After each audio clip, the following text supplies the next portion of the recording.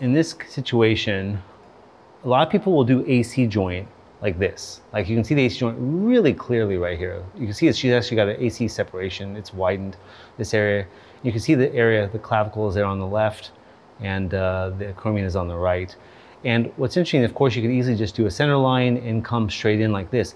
However, I found what the best way to do this is actually to do it in plane. So I'm gonna turn my probe 90 degrees and you can actually follow this kind of to find the clavicle there on the left.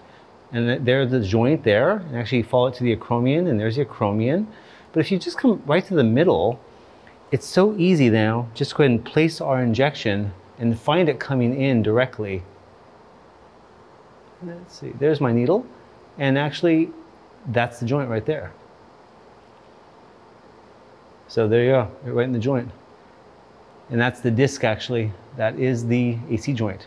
And so all I have to do is do an injection right there and you've done your AC injection. But you do it on direct vision. Because the problem is if you do it blindly, you can go too far and go posterior and miss it, or you can not go far enough and go anterior and miss it. So this way allows you to get directly into the middle and you can see that we're right in the middle right now. So again, this is too proximal, that's too distal, and that's right in the joint. So you can see it directly. So it isn't, I think, good enough in this situation because the AC joint is so small to do it out of plane, like the glenohumeral joint, which is so large.